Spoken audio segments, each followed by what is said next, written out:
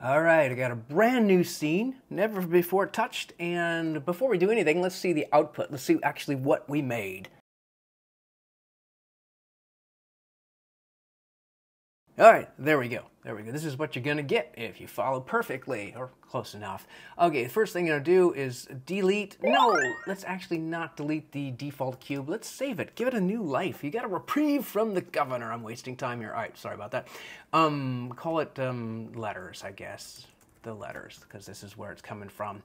And I get this out of the way right now. Let's go ahead and get a mesh. Um, control A, icosphere. And I think we can save some bandwidth and go to level one. And um, I'll go GZ up so I can actually see it. And let's give it a material. Let's do some shading. All right. It looks nice, but a new material. We're to give it a name. Call it, I don't know, flashy? Flashy.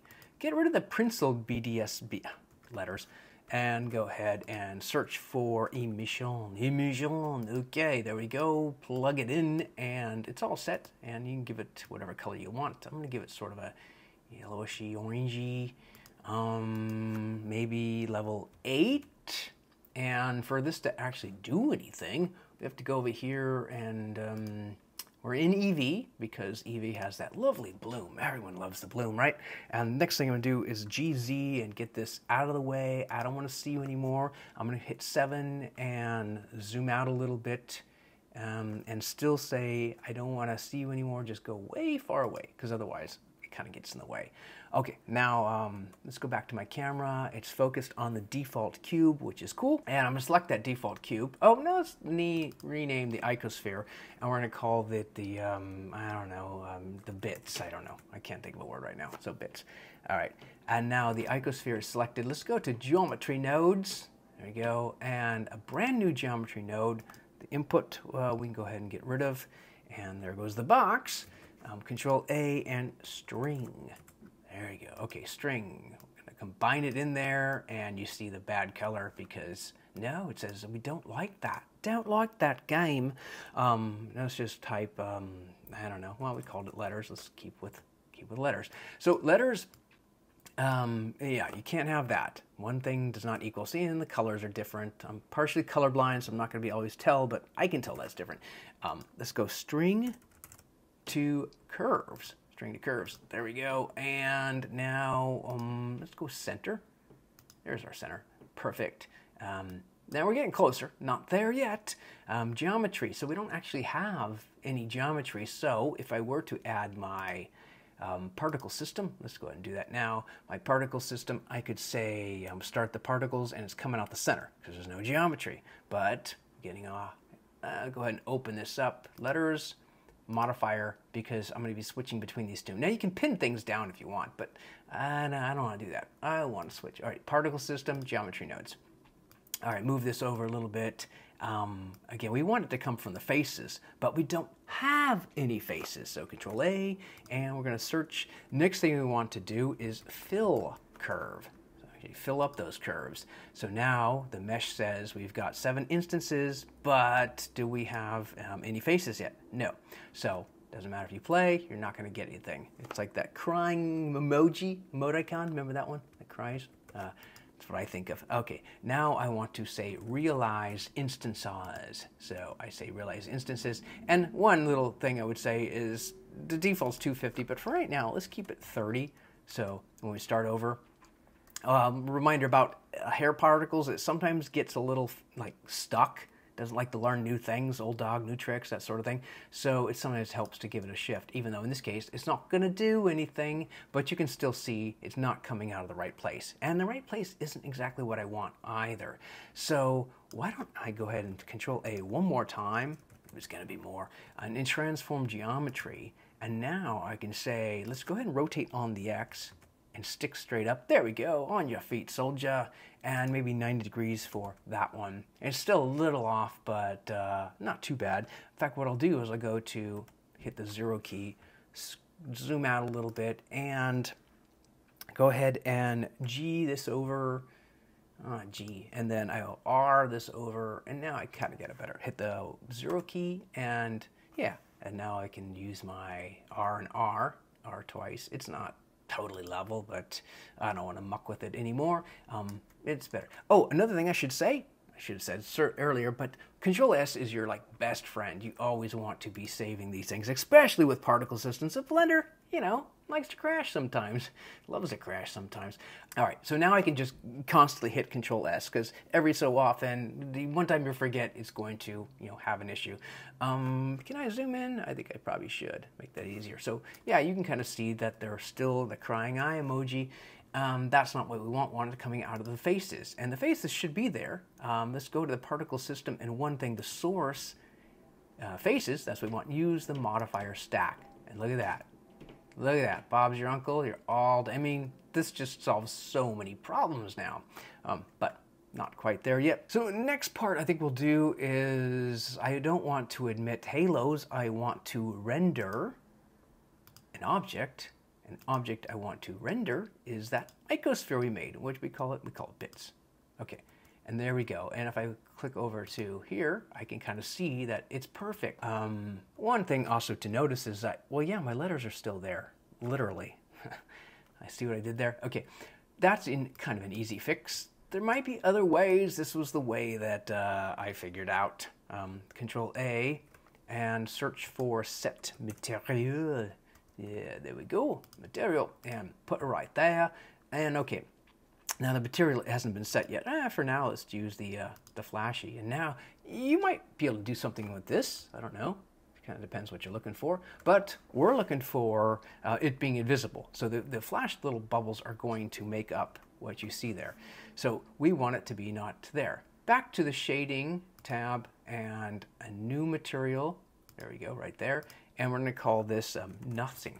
I know nothing not really big on. I didn't never protected per, perfected my Schultz uh, icon, but I'm wasting time here. Okay, so let's get rid of principled and actually it's not principled would have worked. Could have just done alpha way down there, um, and then in material over here, make sure your blending mode is alpha blend, and that will get rid of everything and you should have no more letters. Once you go back to the geometry nodes and say, not flashy anymore, sorry flashy, I'm gonna miss you. But anyway, all right, there. And you see the outline, but I also could not be clicked on it, and there you go. Now, you see, that doesn't really spell out the word very well. True, true, I acknowledge that. Um, I have one of those mouse, mouses, mices that uh, has a, it's the magic mouse, which magically keeps changing my direction all the time. Okay, um, all right, so what I want to do is go back to the letter particle system and say these things are just too big. So where is that? Render? Yes, scale. 0.05. I'm in centimeters right now. I should point, point that out. But 0.005, so a tenth of that size. And I think yeah, I think I like that better. So now you see the icosphere, you know, that kind of it's rudimentary, but it doesn't matter. I'm going to do Control S again. Like I said, always Control S, and I'm going to say that um, we are going to bump it up to uh, 10,000 for now. I'm going to render it higher, but see, I mean, I kind of have to. Sorry, um, because yeah, it's still still not quite enough. Um, but we're so close now um, that now you can see that the particles are all falling down to Earth. Um, that's because the particle system, when you bring it in, automatically has, um, was it force field settings? No, field weights. And one weight is gravity, which we all, we all suffer from, right? So zero gravity will make a difference. Um, but now zoom in here and you can see it's sort of going this way. Why? Well, it's um, exiting through its normals on a trajectory that's defaulted. The normals, nah, it's hard to explain, but they're sort of the way the things are facing. I guess maybe it's not so hard. Um, but they have a, an initial velocity too, so going out on their normals. Now, they don't. They're just sort of staying in place because there's no gravity and there's no initial velocity on the normal, which is fine, except um, Control S I don't want that. I want everyone to start at the same time. So the frame start is 1, the frame end is 200, and that's not good enough. Let's have it at 1. So everybody actually starts at 100%, which is awesome. And the lifetime, you have to bump it up. That will actually go to about 250, but we're not going to render that long of an animation anyway. Right now it's only 30. Okay, so that part's fine. And the next step is to actually make them move. They're not going to move on their own. An object at rest, all that sort of Newton stuff. Let's go ahead and go to the top view, zoom out a little bit, and Control A or Shift A. If I said Control, I usually mean Shift. Okay, and then we're to go to a force field right there. Turbulence. Turbulence is good. Uh, for turbulence, it's selected, go down to get the physics of the turbulence and just start at, I don't know, five? Um, go back to my camera view and now I can see what it does. So I'm gonna zoom out a little bit. I kind of like that. And this is where you kind of like dealer's choice, have some fun fiddling around with it. Now I'm gonna actually will need to extend my scene. So let's go to 120 and I can, yeah, I mean, I'm kind of liking that. Um, it's kind of even going off the screen there, but uh, yeah, kind of exploding. Or if you reversed it, so if you created something and reversed it, you could have the, the particles coming in, sort of, you know, well, reversing it. Um, but I kind of like them exploding. I mean, I could mess with this more, but I also kind of like the way it's going. And now I'm going to do something a little fun because uh, we're so close now. I'm to hit the seven. I'm going to go back and I am going to maybe move the camera out just a little more. Okay. And I'm going to go to keyframe zero or frame zero. And I want the camera to, I'm going to hit the N key and hit the I key and just memorize the location because otherwise I won't save it. Um, I'll scroll out just a little more. Hey, I see the icosphere. Yay. Okay.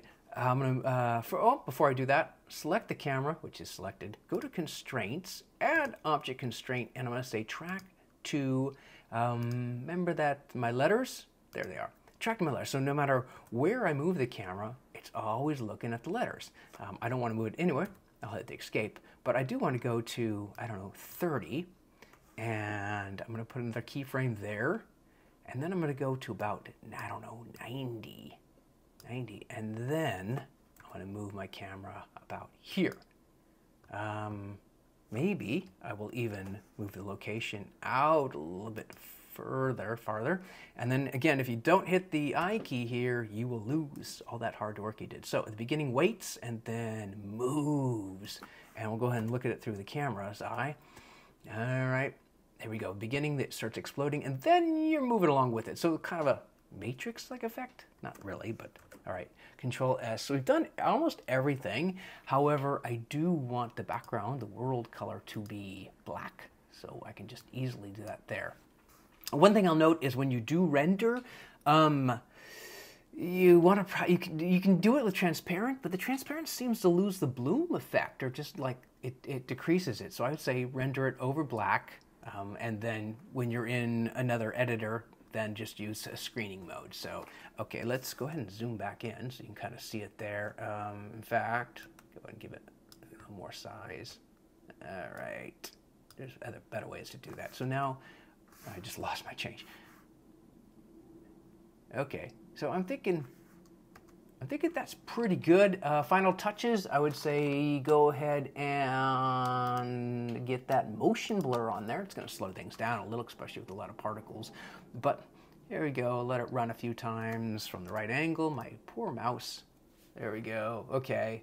And yeah, they kind of so yeah. The, adjusting that turbulence is going to do a lot of it, uh, different effects, but it depends what you want. Um, and you can even have the turbu uh, the um, turbulence coming from the back and zooming in and kind of like exploding towards you more, that would be kind of a cool effect, but that's up to you. I'm gonna go ahead and set it to a really, really high number. I'll post that because I, I kind of need to see what works and what doesn't. And then I'm gonna, um, yeah, post it. Hopefully this helps. If it did, let me know. Um, and in the comments, I'll be able to thank the people that um, help with this kind of stuff. But yeah, I think this is a cool effect and you can do a lot with it and just take it from there. So that's it for now. Cheers.